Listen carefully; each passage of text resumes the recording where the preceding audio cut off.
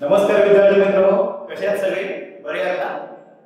काल आपण गवत फुला रे गवत फुला ही जी कविता आहे ती कविता पाहत होतो.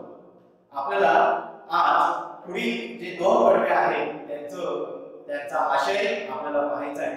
काल आपण पाहिलं होतं की एक मुलगा आपल्या मित्रांबरोबर माळावरती पतंग उडवण्यासाठी गेलेला असतो आणि पतंग उडवत असतानाच त्याला एका गवत फुला त्याचं एका गवत फुलाकडे लक्ष जातं आणि त्या गवत फुलाचं जे काही सौंदर्य आहे रूप आहे ते पाहून तो इतका आकर्षित होऊन जातो की पतंगाला सुद्धा तो विसरून जातो त्यांच्या सोबत जे मित्र आहे त्या मित्रांना सुद्धा तो विसरून जातो. बरोबर की नाही? आणि त्याचबरोबर त्या गवत फुलाचं जे काही वर्णन आहे ते वर्णन सुद्धा त्या मुलाने कसं केलेलं होतं ते आपण मागच्या व्हिडिओमध्ये पाहिलं तर ठीक आहे आज आपण उर्वरित जे दोन कडवे आहेत त्यांचा आपण विचार करणार बघा तिसरं कडवं आहे वारा घेऊन रूप सामले खेळ खेळतो झोपाला रात्र ही निवली होऊन म्हणते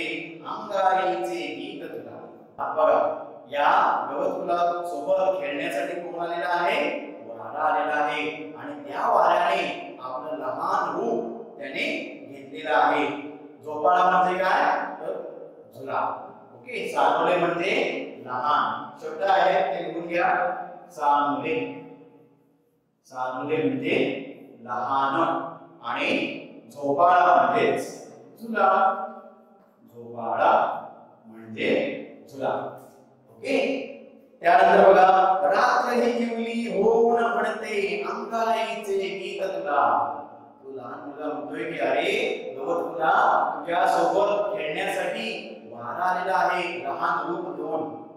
आणि त्या वाऱ्यासोबत आणखी कोण आलेला आहे? तर रात्र देखील आलेली आहे. रात्र ही इवली होऊन म्हणते. इवली म्हणजेच लहान. काय गाते? अंगाईचे गीत तुला. अंगाई गीत. माहिती आहे ना सगळ्यांना? लहान मुलाला किंवा लहान बाळाला झोपवण्यासाठी आई जी काही गीत गाते त्या मला देखील झोपवण्यासाठी ती रात्र काय म्हणते आहे? अंगाई गीत गाते आहे. मलाही वाटे लहान होऊन तुझ्या होऊनही लहान रे. अरे गौतम हे सगळे तुझ्या सोबत येत आहे खेळत आहे आहे मग मला देखील काय वाटतंय? की तुझ्यासारखंच लहान व्हावं. मला देखील वाटतं की तुझ्यासारखंच लहान व्हावं.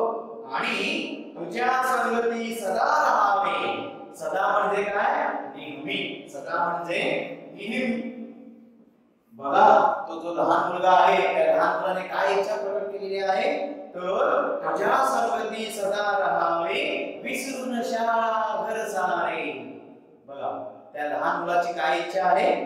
तर मी सुद्धा तुझ्याप्रमाणे लहान व्हावं. आणि तुझ्या संगती म्हणजे तुझ्या सोबत नेहमी राहावं. आणि घर शाळा सगळ्याचा मला विसर पडावा. इतका तो त्या गवत फुलाशी एकरूप अजून त्या लहान मुलाला गवत मुलासोबत काय काय करावं असं वाटतंय ते या शेवटच्या कलमामध्ये त्यांनी सांगितले. बघा तुझी गोजिरी शिकून भाषा गोष्टी तुझला सांगाव्या तुझे शिकावे केरळ आणखी जादू तुझला शिकवाव्या. बघा तो मुलगा म्हणतोय की मलाही असं वाटतंय की तुझी गोजिरी शिकून भाषा तुझी जी भाषा असेल प्रत्येकाची भाषा ही असते. मग जी काही भाषा असेल तुझी गोजिरी सुरेख सुंदर ती मला काय करायची आहे? शिकून घ्यायची आहे. गोष्टी तुझला सांगाव्या. आणि मग तुझी भाषा मी जर का शिकलो तर माझ्याकडे असणाऱ्या ज्या काही गोष्टी आहेत ते तुला मला सांगायचे आहे. तुझे शिकवणे खेळ आणि मी ज्याप्रमाणे माझ्याकडच्या गोष्टी तुला शिकवेन त्याचप्रमाणे तुझ्याकडचे जे काही खेळ असतील ते खेळ मला शिकायचे आहेत. जादू तुझला शिकवाव्या त्याचबरोबर माझ्याकडच्या काही चमत्कारिक गोष्टी असतील ज्या काही जादू असतील त्या तुला मला शिकवायच्या म्हणजे प्रत्येकाची देवाणघेवाण होईल. करूया असं मला वाटतंय. आभाळाशी हट्ट करावा खाऊ खावा तुझ्या सणी म्हणजे बघा अजून काय करावं असं वाटतंय आपल्याला की आभाळाशी हट्ट करावं असं वाटतं हट्ट म्हणजे काय? तर आग्रह. हट्ट तुम्ही करता वाटतं आई जाऊ हट्ट करते की नाही? हा. मग तसं तर मुलगा सुद्धा काय म्हणतोय की मला आभाळाजवळ हट्ट करा असं वाटतं. तुझे घालवले रंगीत कपडे फुलपाखरांना बघा आणि शेवटची इच्छा त्याने व्यक्त केली आहे की तुझे जे काही रंगीत कपडे आहेत रंगीत कपडे म्हणजे काय? तर पाकळ्यांवरती असणारे वेगवेगळ्या प्रकारचे रंग. मग अशा प्रकारचे रंग मी सुद्धा परिधान करावे. आणि लहान व्हावं आणि लहान होऊन त्यासारखे रंगीत कपडे घालून कोणाला फसवावं बरं?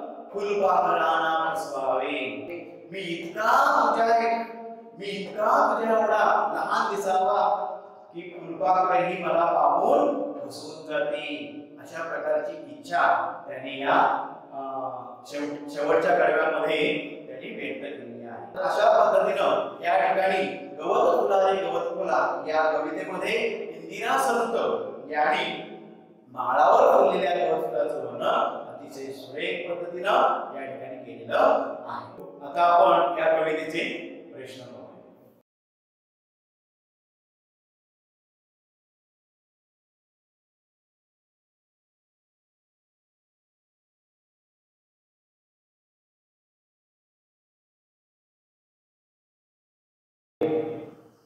ओके? त्यानंतर एका वाक्यात उत्तरे लिहा याच्याकडे प्रश्न आहे. गवत मुलगा कोणाला विसरला दुसरा प्रश्न आहे कवितेतील मुलाची गवत फुलाशी भेट कुठे झाली आणि तिसरा प्रश्न आहे इवलेसे रूप घेऊन कोण भेटायला आले आहे ओके तर विद्यार्थी मित्र हो हे प्रश्न तुम्ही नोटबुकमध्ये लिहायचे आहे तर अशा रीतीनं गवत फुला रे गवत फुला ही कविता या ठिकाणी